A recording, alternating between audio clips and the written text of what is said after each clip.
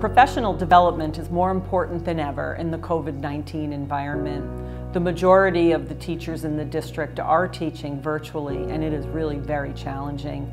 It requires us to think differently about both curriculum and instruction. We began the year with extensive PD on this very topic. At the secondary level, in Common Planning Time, the instructional supervisors and coaches continue this training by working collaboratively with the teachers as we rethink the delivery of quality instruction. At the elementary level, there is embedded PD delivered by the instructional supervisors and coaches. The role of support staff has changed as well. Our teaching assistants need to know and understand how to use the digital tools and how to work in the virtual environment.